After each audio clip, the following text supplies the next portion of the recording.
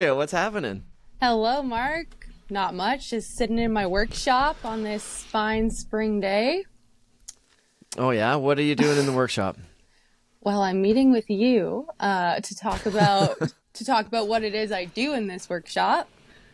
But yeah, this is my space. The mess. Yeah, so so you are um, a hat maker, a craft, a cra- like not even. I guess craft is would be uh, is kind of a word that people use for hobbies. This is more of a a new uh, career path, I guess. So explain what it is that you do. Yeah, it's funny. I actually uh, call myself a professional arts and crafter. Um, this is what I do for money, but I run a small business in Squamish called All and Extra, and I make fleece toques and jewelry. And you're wearing one, and I'm wearing one, and you've probably seen them around BC. That's where most of my my customers live. But yeah, it's been uh, four years now that I've been making fleece hats. Awesome. Well, you have been on the Low Pressure Podcast in the past, in uh, 2019, Yeah. on episode 122. Had you started this then? I hadn't. I had a different little side hustle going at that time, and I was upcycling clothing and making jewelry, but it wasn't called All and Extra. I think at that point it was called Dollars and Cents, which is really funny to look back on, but yeah, always wanted to have a little side hustle. Awesome. So this is uh, this is really taking off. So, you know, I, I talked to you. I saw that these hats were kind of the, the hot thing. It's it, they really are the hot thing. As soon as soon as anybody can get their hands on them, they're all over them. So this is this is a hot commodity. So I was like, I want to get on board this train. So I reached out to you and was like, Hey, let's do a collaboration. As you can see, we got the uh, the LPP label here. But uh, I'd love to find out a little bit more about like how it got started, a little bit more like what what the business is, where it's taking you. So like, where did you actually start this? So I started this in 2019. Um, COVID obviously kind of changed my whole life. At that point, I was in school for hospitality and tourism, and the industry basically got canceled. So I was like, what am I going to do? Like, ski season's coming quick. I got to make some money. Um, so I actually started off by making masks during the pandemic, and that's kind of where like my sewing passion came from. And then like that winter, um, I was like, okay, I should probably like make something that resonates with the ski community that is like all my friends and an industry I've been in for a long time. And I've always loved headwear because it's something that you can like change every day. Most people have like one kit that they wear all winter long, and the only way to express yourself is through like a different hat. So I started making these like super bespoke, unique fleece toques and started on Instagram and then it kind of exploded and I started a website and now we're here four years into it. So it's pretty crazy. It's pretty cool. Where uh where did the idea for like these specific hats? Like, uh, what am I wearing? What's this one called? That one's called the, The peak- Peak Throne. The Peak Throne, and isn't it like patent pending design? Like, where did you come up with this design? Like, how did you come up with the idea to do this? Were you just mucking around on the on the sewing machine one day and Yeah, so just I developed? Yeah, so I actually um during pan- the pandemic, I was like thrifting a lot of fabrics and fleece and I bought this like massive king size blanket and I made a tracksuit. And then I had a little bit left over and I was like, I should make a hat and some like mittens. And my mom's an artist and she actually used to make toques back in the day. So a lot of my inspiration uh, for this entire business is from my mom. Right on. So you have a unique way of getting these out to people too. Like it's it's they're limited because um they're it's limited basically only to your own ability to create them. Because as of right now, you make them all yourself, correct?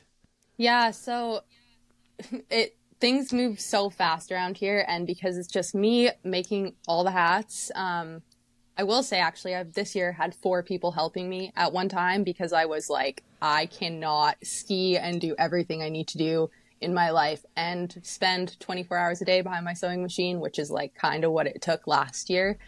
Um, so thankfully I have some wonderful friends in the Sea to Sky in Vancouver, and I was like, I'm going to share the wealth with people in my community who love sewing and want to help me out. And it's been an amazing way to like just connect with people and again share the wealth and um, yeah i do these drops so once a month i try and do a made to order drop. And i think doing made to order is definitely what's like setting me apart from a lot of other makers trying to make fleece toques. Um, i offer a completely customizable product. So you come on my website there's like six different styles to pick from and then over 30 fabrics. And you can pick your size your style and the colors that you want for your hat. Um, and then i do like a 100 to 150 slots per drop, depending on how much time I have uh, for that month. And then because my space here in Squamish is so limited, I do everything in one step. So the way these drops work, I open up, I get all the orders, I write down all the orders, then I have to cut everything. Once I'm done cutting, I clean up, I start sewing. Once the sewing's done, I'll do all the shipping. So this is just a way for me to like stay organized and do everything in like an efficient way. But when I first started, it was not like that. I was like, I'll cut one hat and sew it, you know, and now I'm like, yeah, it's not efficient at all. So you live and you you've, learn. you've turned it more into an assembly line. You're you're really uh, evolving uh, as a business, and and you know the hats themselves. Um, have becoming more and more popular. People froth for them because um, mm-hmm. you said that they sell out pretty quickly. Yeah, most drops. I never get my hopes up, but most drops um, they sell out in about half an hour to an hour.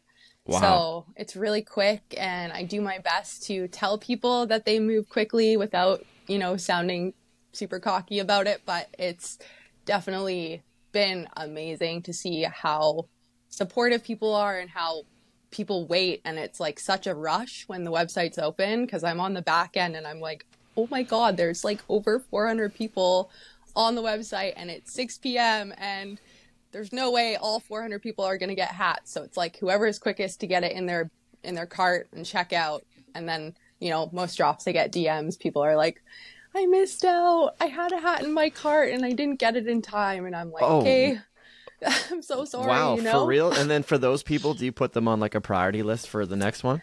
I don't, uh, just because the demand has always been so large that I, I just know that I can't supply all of it at one time. So it does kind of trickle into the next drop, which is why I think like every drop does well because there's always new people coming. And honestly, like word of mouth has been so huge. Mm-hmm. Um, and I think smart business move. Yeah. Smart business move. Keep people yeah. keep people wanting. So like trying to buy your hats is like trying to buy Taylor Swift concert tickets. Pretty much. Yeah, it's pretty cool. yeah. Um so you're based in Squamish and um so the um you think you're going to be able to expand? Are you going to keep going out of your little studio there? You said you hired a few people. Is it planning to get a little bit bigger, or do you want to kind of keep this level of of um, of desire and, and hype going like you know keep things limited to keep the keep the desire high. Yeah or do you want to be able to or do you want to be able to like pay some more bills and get everybody the hat that they want? Yeah that's a great question. Um, i'm definitely going through some pretty like significant growing pains at the moment and trying to figure out my manufacturing and how i want it to go moving forward but i think for me if I can continue to share the wealth with my friends and people in my community who love sewing, then that's what I'll do. And, you know, keeping my overhead what like at a bay and at low is important to me as well because just because you get bigger and produce more doesn't mean you're actually going to make more money. Like I looked into getting a studio space here in Squamish and as most people know, the Sea to Sky is one of the most expensive places to have space.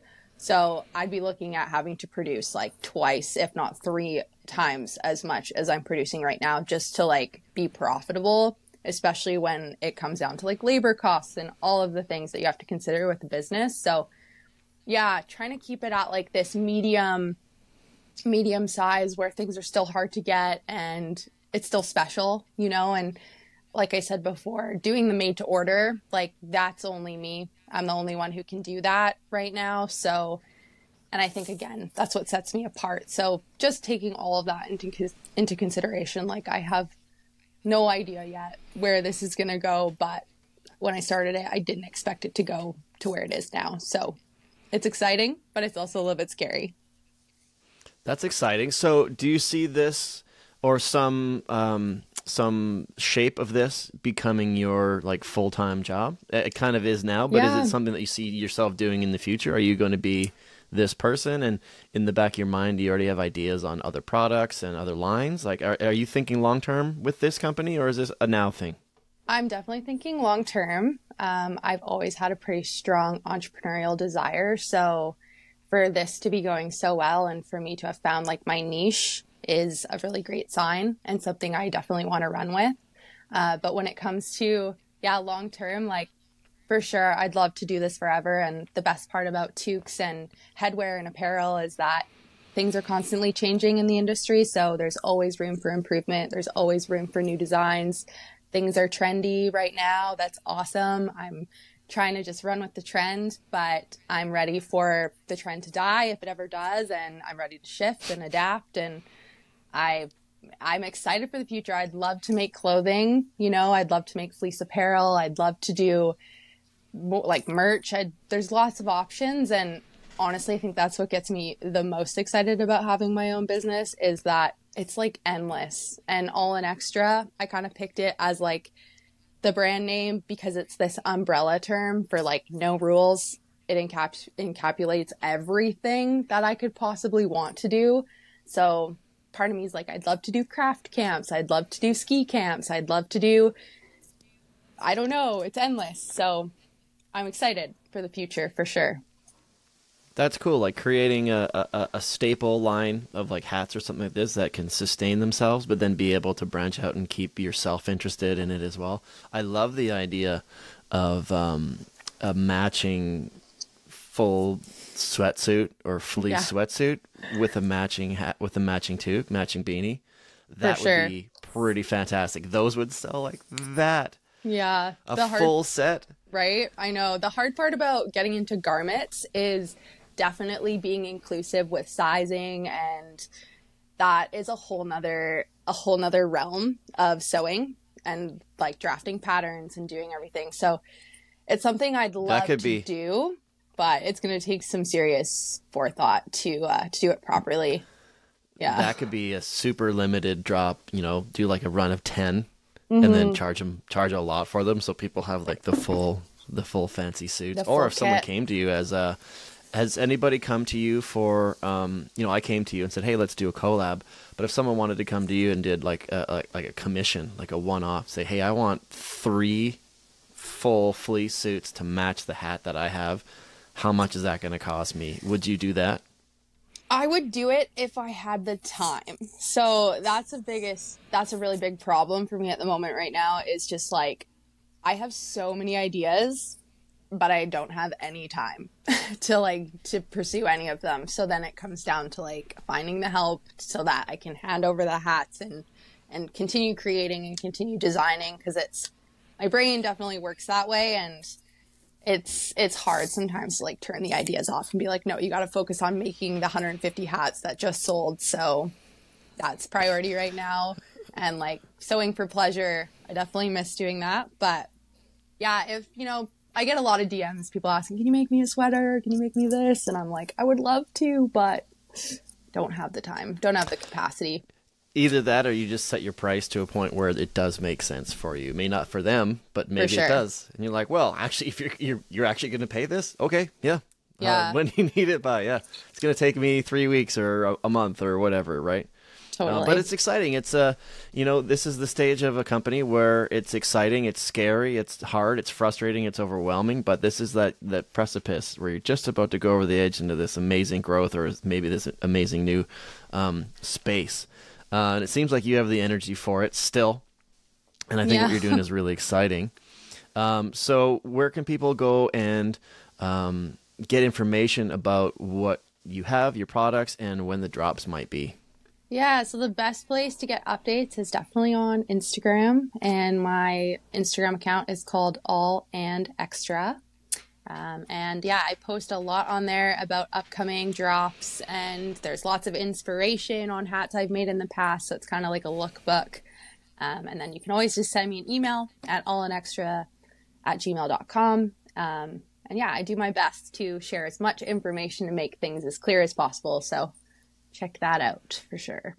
And I have a website, Fan- but it's usually Yeah, closed the- because it's only open during the drops, which is kind of crazy, but it's all N Can you not? Ha- do you not? How come you don't have the website open just with no ability to purchase anything, just for information and, and people can scroll and look? Um, I mean, sometimes I do after a drop, and then I'll close it like a couple of days before the drop, just so that I can do all the updates on the back end. Because I actually sell jewelry as well, which is really popular in the summer, and that's kind of obviously hats are kind of seasonal, so that fills my time. Um, but yeah, I like to do one thing at a time and it's a little stressful when I'm getting orders for jewelry and I'm like at the cutting table. So like I said, everything's like done in steps. So it's just an easy way for me to like manage that. Okay, so make sure you follow uh, the Instagram account, uh, All and Extra, to get information on the drops. I think uh, as when this is being released, you had just done a drop last night, uh, but we're about to do a drop of pre-made hats that you did for us at the Low Pressure Podcast with our Low Pressure Podcast badge. We've got about 50 hats, and they will be going on sale Thursday evening, the 21st of March, uh, which you'll be able to get at the Low Pressure Podcast website. Heck yeah. Um, yeah, so that's exciting. I'm glad that you're doing so well and people are so fired up about it. And um, you're only going to keep growing, and we'd love to help you do that. Thank you so much. I'm honored to be here and yeah, thanks so much for the opportunity to create something special for the LPP. I love your podcast. I listen to it all the time while I'm sewing. I love the hats. They're warm and nice, and they look cool. I didn't know if I, I didn't know if it was my thing, but I'm like, yeah, it works. It works. Definitely Looks works. good. awesome. Hey, thanks, Dre. Congratulations on um, the success, and hopefully it keeps going. Thank you so much, Mark. We'll talk soon.